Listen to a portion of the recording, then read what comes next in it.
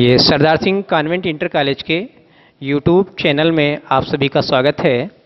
ये कक्षा आठ, पाठ एक, सूक्ष्मजीव का वीडियो नंबर दो है। इससे पहले आप वीडियो नंबर एक में सूक्ष्मजीव की परिभाषा और उनके प्रकार के विषय में पढ़ चुके हैं। अब यहाँ पर इन सूक्ष्मजीवों से हमें क्या लाभ हैं?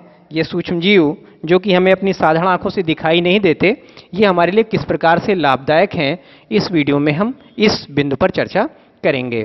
तो सबसे पहला बिंदु आप देख पा रहे हैं, सिरका, यानी कि एसिटिक अम्ल। आपने अपने घरों में देखा होगा कि गन्ने का रस रख दिया जाता है और कुछ समय के बाद उसमें क्या है? स्मेल आने लगती है एक विशेष प्रकार की, अम्ल की खुशबू आती है और वो फिर क्या बन जाता है? सिरका बन जाता है।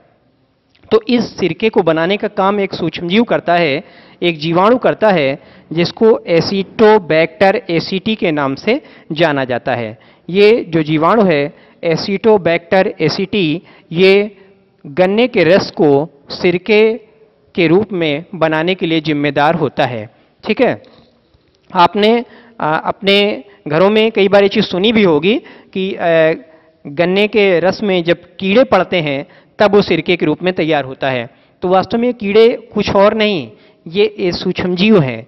एसिटोबैक्टर, एसिटी वो कीड़ा है, वो सूक्ष्मजीव है, वो सजीव है, जो उस गन्ने के रस में उत्पन्न होकर के, हवा के माध्यम से उस गन्ने के रस में उसके कड़ पहुँचते हैं और उस गन्ने के रस को वो एसिटिक अम्ल, यानी सिरके के रूप में क्या है तैयार कर देता है, बना देता है।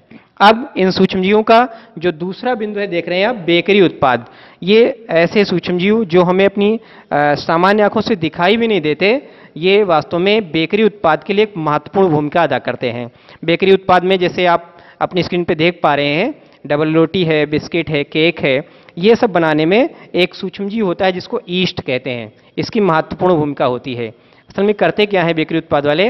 ये इसका जो आटा होता है, उसको गूँथ करके और एक भीगे कपड़े से, अपने उत्पादन करने से काफ़ी समय पहले उसको रख देते हैं और फिर वहाँ पर हवा के माध्यम से ईस्ट के कण पहुँच करके और उसमें जो है अपना प्रजनन करते हैं, अपनी संख्या को बढ़ाते हैं और तभी वो आटा इस बेकरी उत्पाद के लिए तैयार हो पाता है। यानी यहाँ पर कौन महत्वपूर्ण भूमिका अदा करता है? ईस्ट बेकरी उत्पाद में ईस्ट एक सूक्ष्म जी होता है, जो कि महत्वपूर्ण भूमिका अपनी अदा करता है। अच्छा तीसरा बिंदु है, आप देख रहे होंगे अपनी स्क्रीन पर, प्रतिजैविक दवाइयाँ, एंटीबायोटिक मेडिसिन आजकल इस प्रकार की रोग प्रतिरोधक दवाइयों का बहुत ज़्यादा प्रचलन है, एंटीबायोटिक दवाइयों का बहुत ज़्यादा प्रचलन हो रहा है, और इनको बनाने में कुछ सूक्ष्म जीवों का भी महत्वपूर्ण योगदान है। आपने नाम सुना होगा एंटीबायोटिक्स। वास्तव में इसके बारे में आप जानते हैं कुछ? एंटीबायोटिक्स क्या होते हैं? वास्तव में ये किसी रोग का इलाज नहीं है। एंटीबायोटिक्स स्वयं में किसी बीमारी का इलाज ना हो करके ये हमारे अंदर जो प्रकृति प्रदत्त रोग प्रतिरोधक क्षमता होती है, यानी कि जो डब्ल्यूबीसी यानी व्हाइट ब्लड कार्पोसेल्स की जो क्षमता होती है, उसकी क्षमता को बढ़ा देते हैं। या इस प्रकार से कहें, हमारे शरीर में जो पहले से रोग प्रतिरोधक क्षमता है, उसकी शक्ति को बढ़ाने का काम करते हैं कौन? एंटीबायोटिक्स मेडिसिन यानी प्रतिजैविक दवाइयाँ। तो इसमें आप पहला नाम देख रहे हैं, पेनिसिलिन। पेनिसिलिन का बहुत ज़्यादा उपयोग होता है मेडिकल के क्षेत्र में। तो ये एक विशेष प्रकार के पेनिसिलियम नामक कवक से बनाई जाती है है ना? पेनिसिलिन किस चीज़ से बनती है? पेनिसिलियम नामक कवक के माध्यम से ये तैयार की जाती है प्रतिजैविक औषधि। तो ये भी सूक्ष्म जीवों का एक उपयोग है। और दूसरा आप देख पा रहे हो, क्लोरेलिन। ये भी एक प्रतिजैविक दवा है, क्लोरेलिन। और ये एक विशेष प्रकार के शैवाल क्लोरेला नाम के शैवाल से तैयार की जाती है। तो ये भी सूक्ष्म जीवों का एक महत्वपूर्ण योगदान है, एक लाभ है हमारे लिए कि ये हमारे लिए प्रतिजैविक दवाइयों के लिए बनाने में एक महत्वपूर्ण भूमिका अदा करते हैं। अच्छा चौथा पॉइंट देख रहे हैं आप, दूध से दही बनाना। आप अपनी स्क्रीन पर देख पा रहे हैं, दूध से दही बनाना। तो दूध से दही बनाने का काम भी एक सूक्ष्मजीव करता है। और जिसको हम लोग लैक्टोबैसिलस के नाम से जानते हैं। अब एक चीज़ आप ध्यान रखिएगा लैक्ट नाम जहाँ पे मिले, आप उसको दूध से जोड़ करके देख सकते हैं। जैसे दूध की शुद्धता मापने का एक यंत्र होता है, दूध में पानी की मात्रा को मापता है। क्या कहते हैं उसको? लैक्टोमीटर दूध में पानी की मात्रा को मापने का काम यंत्र करता है लैक्टोमीटर तो वो लैक्टोमीटर होता है, और ये सूक्ष्मजीव क्या है? लैक्टोबैसिलस है। दोनों जगह पे लैक्ट है, और एक जगह पर होता है दूध में एक प्रकार का एसिड पाया जाता है, एक अम्ल पाया जाता है, जिसको हम लोग लैक्टिक अम्ल के नाम से जानते हैं, है ना? लैक्टिक अम्ल। तो लैक्ट शब्द जो है, ये कहीं ना कहीं दूध से जुड़ा हुआ होता है। लैक्टोबैसिलस लैक्टिक अम्ल लैक्टोमीटर ठीक है? तो यहाँ पर आपको याद रखना है लैक्टोबैसिलस दूध से दही बनाने का काम करता है और ये एक प्रकार का सूक्ष्म जीव है। अगला क्या है? नाइट्रोजन स्थिरीकरण। नाइट्रोजन स्थिरीकरण। देखिए जो हमारे वनस्पतियाँ हैं इनकी वृद्धि के लिए या इनके अच्छे ढंग से ग्रोथ के लिए जो है, नाइट्रोजन का महत्वपूर्ण योगदान है। और आपने अपने वायुमंडल में देखा भी है कि नाइट्रोजन का परसेंटेज कितना है? सबसे ज़्यादा 78 परसेंट नाइट्रोजन है। लेकिन इस नाइट्रोजन का पौधे उपयोग नहीं कर पाते, क्योंकि ये नाइट्रोजन होती है गैस के रूप में, और नाइट्रोजन का उपयोग पौधे नाइट्रेट यौगिकों के रूप में करते हैं। तो कुछ ऐसे सूक्ष्मजीव हैं जो वातावरण की नाइट्रोजन को नाइट्रेट यौगिकों में बदल करके मृदा में उसका क्या करते हैं? स्थिरीकरण करते हैं। जैसे आप देख पा रहे हैं, एजेटोबैक्टर या राइजोबियम। तो जो एजेटोबैक्टर है, ये क्या है? ये मुक्त रूप से मिट्टी में पाया जाता है और वायुमंडल की नाइट्रोजन को नाइट्रेट यौगिकों में बदल करके उसका मिट्टी में क्या करता है? स्थिरीकरण करता है और इस नाइट्रेट यौगिकों का उपयोग पौधे अपनी वृद्धि के लिए करते हैं। ठीक है? और दूसरा क्या है? राइजोबियम। तो जो राइजोबियम जो द्विबीजपत्री पौधे होते हैं, इनकी जड़ों में पाया जाता है।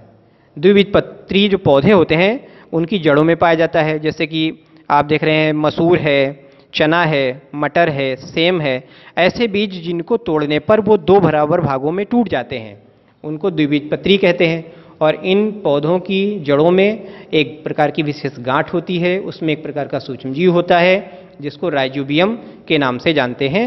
और ये राइजोबियम क्या करता है कि वायुमंडल की नाइट्रोजन को नाइट्रेट योगों में बदल करके मिट्टी में स्त्रीकरण करता है।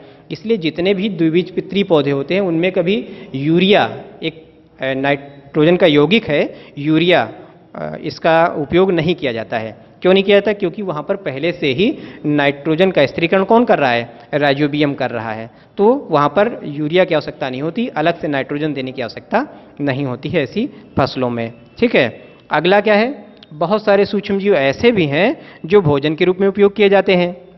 जैसे कि जो समुद्र तटीय देश हैं, जैसे चीन है, जापान है वहाँ पर जो समुद्र में एक विशेष प्रकार के शैवाल पाए जाते हैं, वहाँ पर इनका उपयोग भोजन के रूप में किया जाता है कि जो कि ये जो शैवाल होते हैं, ये आयोडीन का, कैल्शियम का एक बहुत अच्छा स्रोत होते हैं, ठीक है?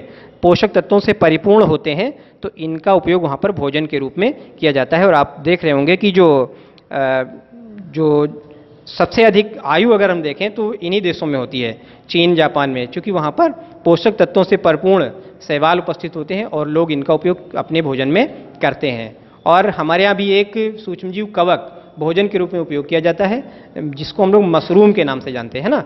मशरूम एक प्रकार का कवक है, मृतुपजीवी पौधा है, ये जीव जंतुओं के या फ़सलों के सड़े गले अवशेषों से अपना भोजन प्राप्त करता है और इसका उपयोग हमारे यहाँ भोजन के रूप में किया जाता है। ठीक है? तो इस वीडियो में हम इतना ही पढ़ेंगे। इसका जो वीडियो नंबर तीन होगा, उसमें हम सूक्ष्म जीवों से कुछ हानियाँ भी हैं, है ना? तो सूक्ष्म जीवों से हानियों के विषय में पढ़ेंगे पाठ एक के वीडियो नंबर तीन में। तो इस इस वीडियो में इतना ही।